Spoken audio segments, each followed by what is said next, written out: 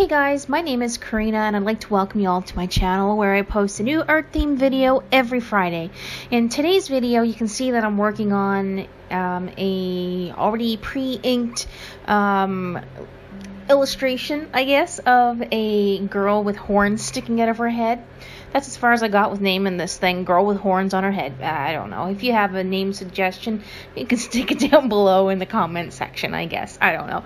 Um, either which way, I'm doing this little sketch in my Copic. Um, I don't even know what to call it. It's um, Copic has a new sketchbook out. Um, it has new paper, I guess, and it's a 70 pound marker paper. I think I've um, already uploaded a few from 2017 that I've worked on in this book. At least one. I know there's at least one. Um, but the paper, like I said, is 70 pound marker paper. It's bleed resistant. It has 50 sheets in the book, and it's like 5 by 7 um, I really enjoy working on this paper.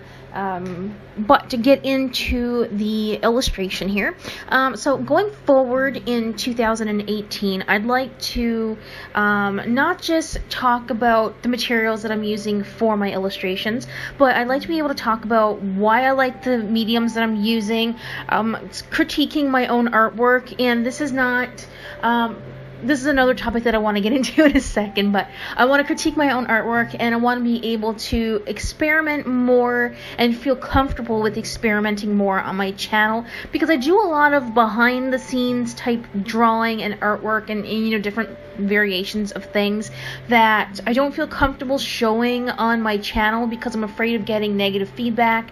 Because I am learning how to do some of these things I don't want to get negative feedback in the comments and I definitely don't want other people to be reading these negative comments either. So if you think I should just suck it up and put more of my experimenting or experimental type things on my channel, please do let me know. I would really love to hear what your feedback is on that. Um, regarding the critiquing of my illustration or my artwork, I'm going to start here with saying that um, I think there are a few things that I definitely need to get better with for doing this type of an illustration. Definitely, I need to work on those hands definitely work on the hands. Um, also, I've noticed when I was coloring um, with the markers in the face area that the eyes were not positioned properly. Neither was the nose or the mouth. I mean, overall, I really do. In, I, I enjoyed working on this piece, and I really loved how it turned out. Even though there are quite a few things that I do need to work on, um, like I had mentioned, and I don't mean to say these things for someone to come back and say, "Why are you being so hard on yourself? Why are you being so negative? Why are you doing this? Why are you doing that? It's not meant to be that way. I would just like to point out that um, you know, to myself going forward and to anyone that's watching is that I do realize that things that I do are not perfect and they're not going to be, and I understand that. And I'd like to be able to just look at things and and pick it out for my own personal use and for me to be able to grow uh, going forward of things that maybe I should be more aware of. Now, this is not saying that I would like people to go down in the in the comments and critique me to no end, where it's to the point where it's becoming um, I wouldn't. I don't. I don't want to say rude, but ne- we'll use the word negative. Um, there, there's a way of saying, hey, yeah, maybe you do need to go work on your hands a little bit, compared to someone say, yeah, I don't know why you're drawing anyway because you can't do anatomy. Do, do, do you know what I mean? So um, the critiquing that I'm going to be doing in um, in some of my videos, maybe all, I don't know how many. It's just going to be again like for my own personal use and to point out, yeah, I do need to work on some things, and this is what I do need to work on. But overall, I really do like this piece.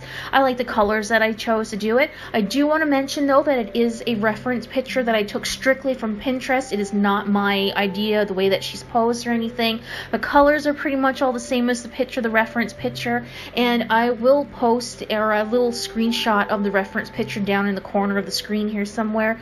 I am by no means taking um, credit for this image other than I'm taking credit that I drew the thing and I painted or colored or whatever it is you do with markers and you know I'm, that, that's what i'm taking credit for not the not the person who put the work in to, put effort in to take this photograph. So i don't know the name of the photographer. I don't know who's in the picture but that's what i use for reference. Um, again i'm using the copics and i believe i use a Curarino wink um, acrylic paint marker in there as well at some point in time to do little bits of jewelry. Um, but that's it for today's video. I'm starting to run out of time here, and I have some more uh, things that I need to get off my chest here um, before um, before I go. Uh, if you have any comments or questions, please leave them down in the comment section. If you'd like to check out my other social media links as well as my Redbubble and my Etsy shop, I have updated my website as well. You can see all the links for those down in the description. Um, going forward again in 2018, I can't can't believe it's 2018 already. I have so many personal things that are coming up this year that are going to be so crazy, especially come, um, I think, the end of July. It's going to be really big because we are moving halfway across the country and we are moving back to um, my hometown for a little while in Newfoundland, so I'm very excited for that. Um, but I have one thing that I would like to add into my videos. Um, I know I went a little bit off topic there, is that I'd like to have a mystery question at the end. And then I know whoever stays right till the end of the video, they can answer the questions and you know, don't don't leave it down in the comment section that there's a question at the end of the video. But then I know who's actually staying until the very end. Very very um, sneaky sneaky there. So my question for this video, my question, my first very my very first question of 2018 is what is the worst art supply or art supplies that you've ever used? All right, so that's the question.